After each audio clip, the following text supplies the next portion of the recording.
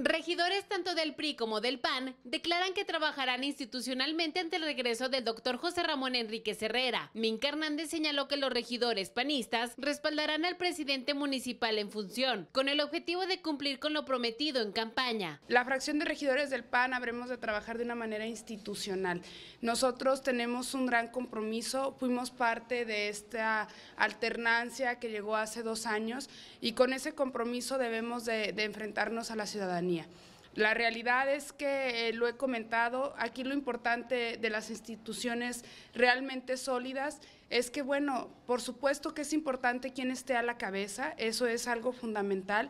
Sin embargo, nosotros como fracción de regidores del Partido Acción Nacional debemos de respaldar al presidente municipal, eh, habremos de hacerlo de esta manera y por supuesto habremos también de ser este, proponentes, impulsores y verificadores de que la mayor cantidad de los compromisos adquiridos en las campañas pues las podamos cumplir. Tenemos un año, es tiempo suficiente, eh, tendremos que redoblar los esfuerzos, tendremos que hacer un gran trabajo desde el presidente municipal, las direcciones y por supuesto nosotros como cabildo.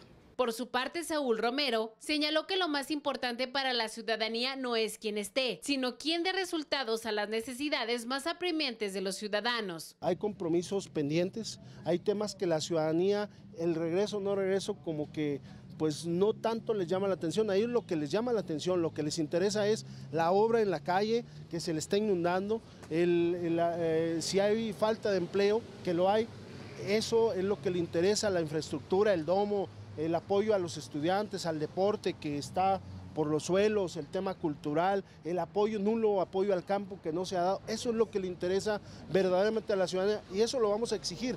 Eso sí entra dentro del marco legal, del fundamento del, que tenemos en la ley orgánica que nos compete a los regidores, eso es lo que debemos de exigir, que se cumplan los compromisos, que no se han cumplido, que se siga trabajando por Durango y que eso permita que los ciudadanos tengan mejores oportunidades tanto de empleo como de vida. Las dos fracciones coinciden que lo más importante es dar respuesta a la ciudadanía en el último año del actual gobierno municipal. Con imagen de Alejandro Silva, informó para Canal 12 Denis Villarreal.